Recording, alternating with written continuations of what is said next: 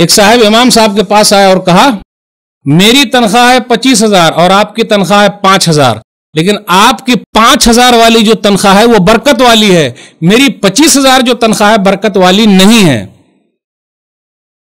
अब बेचारा मौलवी करे क्या? इमाम साहब क्या बोलेंगे?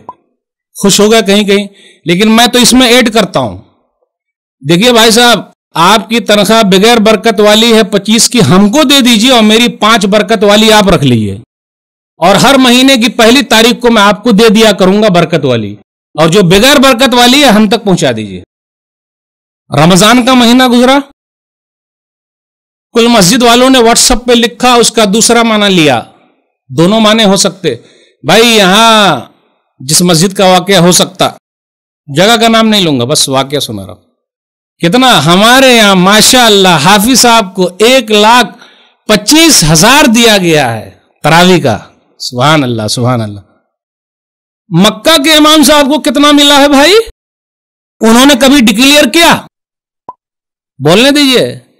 अरब के ओलमा जक़ात निकालते हैं और अपने यहाँ के ओलमा जक़ात कहा निकाल पा रहे निकाल पा रहे बेचारे, इल्ला माशाल्लाह।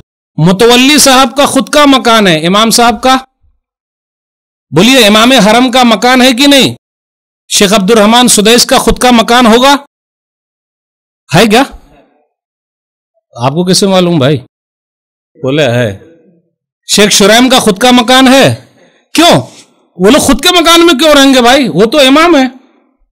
खुद के मकान में क्यों रहेंगे? उनको किराए के मकान पे रहना चाहिए। हो सकता क्या ऐसा? क्या इज़्ज़त है? क्या मकाम है? और हमने और आपने अपने का मकाम कैसे घटा करके रखा है? मैं सबकी बात बिल्कुल नहीं कर रहा हूँ। और मैंने कहा ना, कभी साहब हाजिर नहीं होते, एक आध दिन अगर आ गए तो घड़ी पर ही इंतज़ार।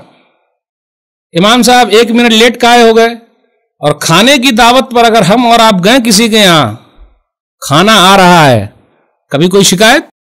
घंटा भी लग जाए आराम से और पैसे के लिए तो मैंने कहा, ये दो चार दस दिन लाइन लगा है आराम से, कोई शिकायत नहीं, पैसों आ रहा है। मेरे भाई मामला प्यारा रखिए हरक के साथ।